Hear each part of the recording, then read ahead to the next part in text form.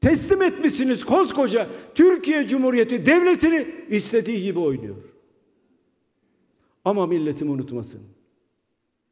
Bu ülkenin köklü tarihi gelenekleri olan bir partisi var. Adı Cumhuriyet Halk Partisi. Bu ülke sahipsiz değildir. Biz birbirimize muhtacız. Söylüyorum. Sevgili halkım, biz birbirimize muhtacız. Biz kenetlenmek zorundayız. Beraber olmak zorundayız. Birlik olmak zorundayız. Yaşanan bu tabloyu tersine çevirmek zorundayız. Bunu yapacağız değerli arkadaşlar. Şimdi Afgan sığınmacılar, biraz o konuda bilgi vereyim değerli arkadaşlarım. Belucistan, Belucistan üzerinden Türkiye'ye geliyor. Önce İran'a. İran'da bunlar uzun kilometreleri, parası olanlar arabayla, olmayanlar yürüy yürüyerek geliyorlar Tahran'a. Tahran'da Azadi Parkı'nda buluşuyorlar bunlar. Azadi Parkı'nda buluşuyorlar. Sonra buradan üç merkeze yönlendiriliyor bunlar. Merkezler Kavoy, Urumiye ve Tebriz dolaylarındaki üç merkez. Burada bunlar misafir ediliyorlar. Bir süre sonra bunlar 30'ar 40'ar kişilik gruplar halinde Türkiye'ye gönderiliyorlar. Sınırlarımız sağlam diyorlar. Bu ne peki? Bu tablo ne? Bu tabloyu ben bilmiyorum sadece. Bu devletin yetkilileri biliyor bu tabloyu. Nasıl geldiklerini de biliyor. Tamamı erkek ve genç. Nasıl oluyor da bunlar geliyorlar değerli arkadaşlarım? Üç büyük şebeke bu organizasyonu yapıyor. Üç büyük şebeke. Bu üç büyük şebeke aynı zamanda insan kaçakçılığı yanında esrar, eroin neyse uyuşturucu kaçakçılığında bunlar yapıyorlar. Siyasi gücü olmadan insanların 30'ar 40'lar gruplar halinde Türkiye'ye insan sokmaları, kaçakçılık yapmaları mümkün mü? Van'dan İran sınır kapısına gittim. Yetkililerle görüştüm. Buradan kaçak geçen var mı? Hayır mümkün değil. Pasaport olmayanları biz zaten sokamayız diyorlar. E peki dağlardan bir karakol diğerini görüyoruz dedi zaten. Kuş uçsa tespit ederler. Peki kuş uçsa tespit ediyorlar da nasıl oluyor da tırlarla dorseller içinde onar kişilik, 20'şer kişilik, 30'ar kişilik insanlar geliyorlar Anadolu'ya, Türkiye'ye geliyorlar.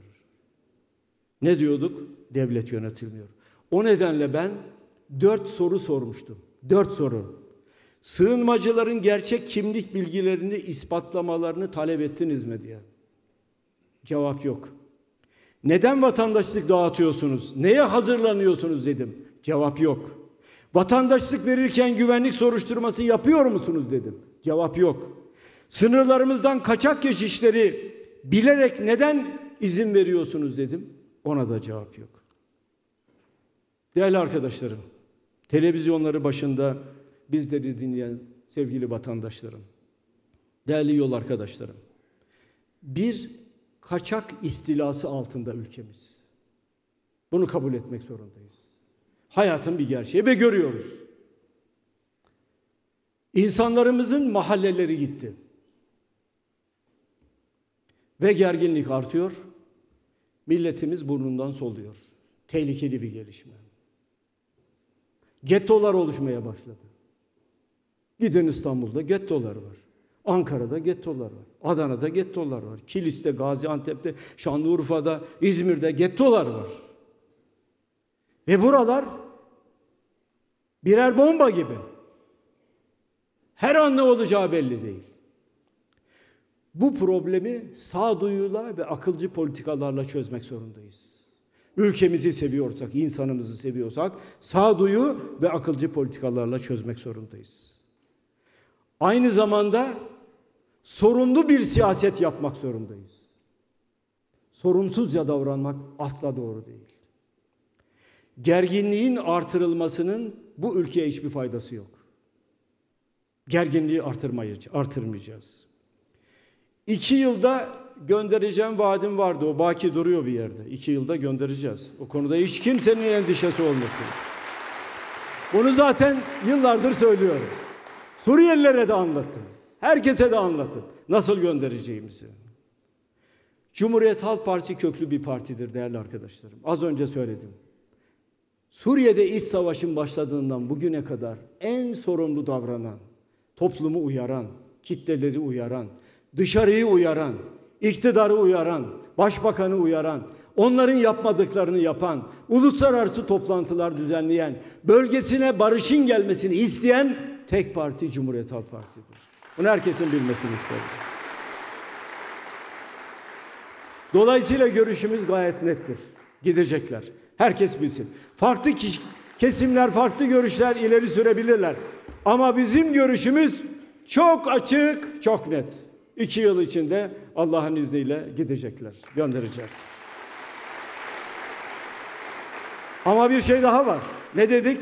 Sorumlu siyaset yapmak zorundayız. Bu süreçte milletimizin tertemiz alnına ırkçılık lekesi asla sürdürmeyeceğiz. Irkçılık olmayacak. Asla ırkçılık olmayacak.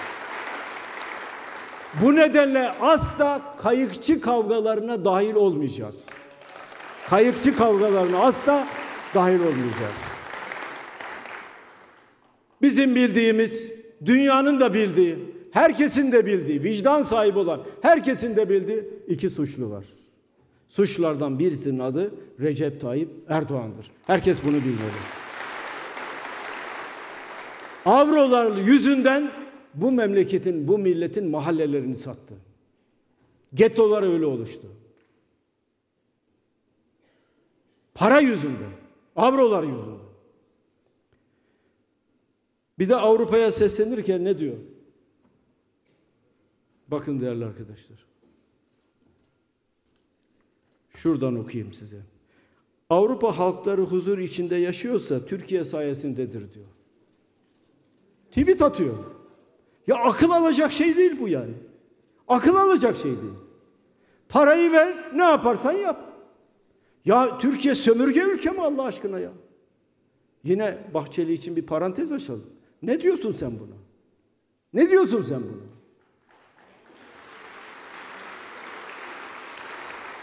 Değerli arkadaşlarım. Erdoğan bu milletin huzuru için huzurunu parayla satan kişidir. Bu milletin huzurunu, bu milletin geleceğini, bu milletin mahallelerini parayla satan kişidir. Tahsildardır yani. Parayı ver, ne yaparsan yap. Parayı ver, ne yaparsan yap. Tabii bir parantez açalım. Para derken Türk lirası değil tabii. Ya dolar ya avro olacak. Tabii. Öyle Türk lirasına tenezzül etmiyor beyefendi. Onlarla ilgisi yok. Sordum yine soruyorum. Bu memleketin, bu milletin mahallelerini kaça sattın arkadaş? Çık bu millete hesap ver. Avrupalılar rahat etsin diye bu ülkeye terörü getirdi. Avrupalılar rahat etsin diye bu ülkede sığınmacılara gettolar oluşturdu. Avrupalılar rahat etsin diye bu ülkenin dokularıyla oynadı. Çık bunun hesabını ver diyorum. Eğer sen gerçekten ülkeni seviyorsan ve sen gerçekten de bu sorunu çözmek istiyorsan çık önce bunun hesabını bu millete bir ver. Verir mi? Veremez arkadaşlar, veremez. Bu ne demektir? Bir kişinin, devleti yöneten bir kişinin parayla satın alınması demektir. Parayı verdim, sen bunları tutacaksın burada. Ne demektir bu? Seni satın aldım. Başka bir şey yapamazsın. Geri kabul anlaşmasını neye göre imzaladın? Parayı verdim, sen de imzayı bastın. Bir ülkeyi yöneten kişi emperyal güçler tarafından parayla satın alınıyorsa onun bu ülkeye ne faydası olabilir Allah aşkına? Ne faydası olabilir? İkinci suçlu. İkinci suçlu Avrupa Birliği. Beyler oturuyorlardı yerlerinde. Bunu burada söylemedim ben. Avrupa Birliği'nde de söyledim. Yetkililerin önünde de söyledim. Beyler Suriye'de kan gövdeyi götürüyor. Birbirlerini insanlar öldürüyor. Çocuklar, yaşlılar, herkes perişan vaziyette. Milyonlarca kişi ülkesini terk etmiş. Beylerin kılı bile kıpırdamıyor. Ne zaman kıpırdadı? Türkiye'den sığınmacılar gidince vay efendim bunlar nereden geldi? Nereden gelecek kardeşim? Bunlar gelişen ülkeye gidiyor. Türkiye'de ne yapacak bunlar? Aç sefil kalıyorlar. Sen demokrasi diyordun, insan hakları diyordun. Neden bunları peki kabul etmiyorsun? Neden Suriye'nin Suriye'de iç savaş bitsin diye mücadele etmedin? Neden sen bir Suriye uluslararası Suriye konferansı